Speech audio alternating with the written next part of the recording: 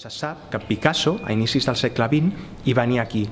Hi venia per inspirar-se, per fer els seus dibuixos, i se sap que d'entre els seus dibuixos i els seus quadres més importants s'han trobat fonts d'aquesta inspiració, com per exemple el famós quadre del 1907, el de les senyorites d'Avignon, una de les imatges que hi surten, concretament a la part dreta, a baix, una, una dona que està asseguda, es va inspirar per fer la seva cara amb aquesta imatge d'Eva, al costat de la serp i d'Adan, que, que si ens fixem té, té la mateixa postura que el quadre.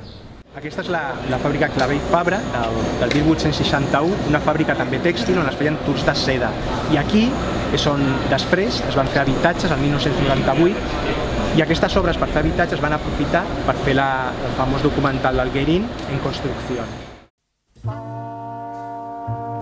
Sempre que es vol dir que alguna cosa és un desastre o no funciona bé, es diu això és Can 60, i la referència eh, és d'una fàbrica que es diu, que estava en aquesta zona i que funcionava molt malament. Específicament en els números 18, 20 i 22, que junts sumen, Can 60, eh, sumen 60.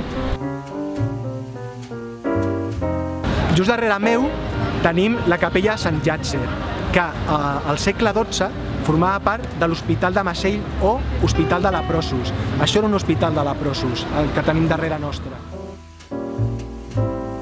Aquí el que us volia explicar és que a principis del, del segle XIX les lleteries i les bequeries es van fer molt comunes i molt populars a Barcelona.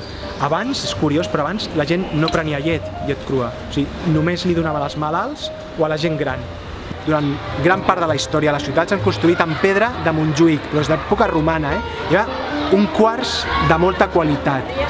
Per això, aquest quars també, i aquesta pedra també servia per esmolar les eines de cuina, quan hi havia guerres, les armes, les baionetes... Per casualitat, el meu besavi va venir aquí a treballar d'aprenent a finals del segle XIX, cap al, mil, cap al 1900. Com que havien començat a esterilitzar llet, també buscaven el producte que es pogués envasar i comercialitzar i que tingués una durada llarga de, de consum.